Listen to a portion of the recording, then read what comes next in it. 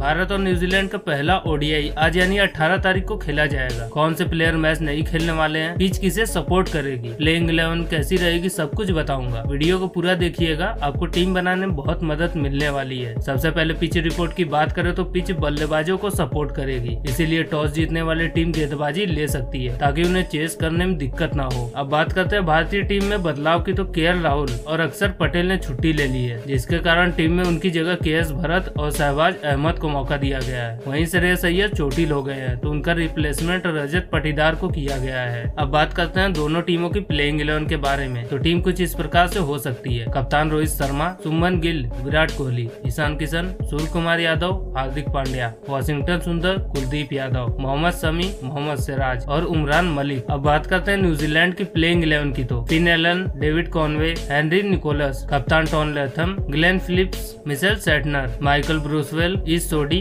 Blair Tickner और Lockie Fergusson तो ये थी पॉसिबल प्लेइंग इलेवन इसे देख के आप अपनी टीम बना सकते हैं। वीडियो अच्छी लगी तो लाइक करें चैनल को सब्सक्राइब करें। ऐसे ही वीडियोस के लिए। धन्यवाद।